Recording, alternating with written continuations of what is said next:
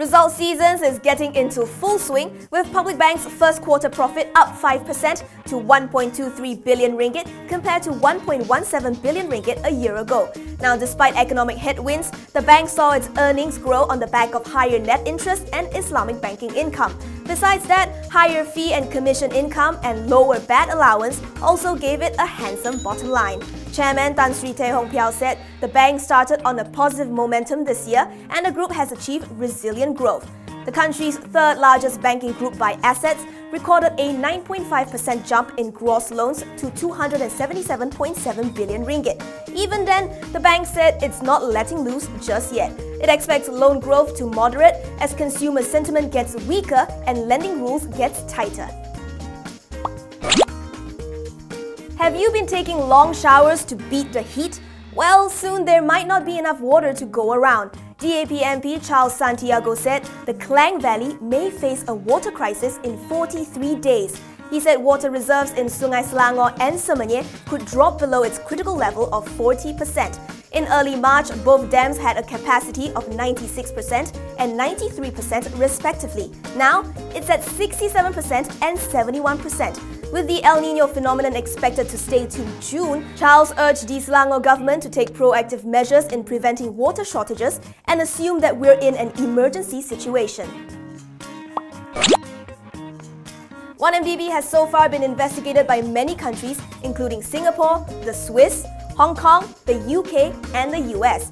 1MDB chief Arul Kanda said in a recent report, if being contacted or asked to help, the company will fully cooperate subject to any international protocol relating to such matters. However, the company has not been contacted thus far.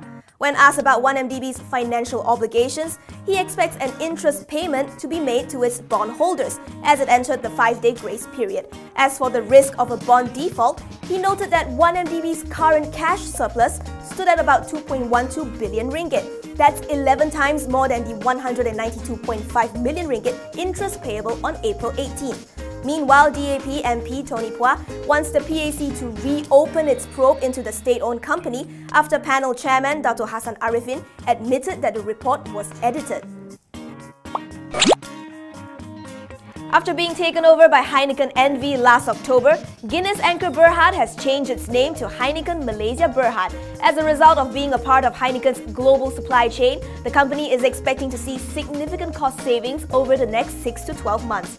Managing Director Hans Essaadi said, if the company can tap into the global procurement contracts that Heineken has, it'll be more efficient to purchase raw materials like barley, glass, and aluminium compared to buying as a standalone brewer. However, he declined to reveal the quantum of savings the company is expecting. Coincidentally, the parent Heineken, which is the world's third biggest brewer, today reported its beer shipments has risen above analyst estimates, mainly driven by growth in Asia and the US.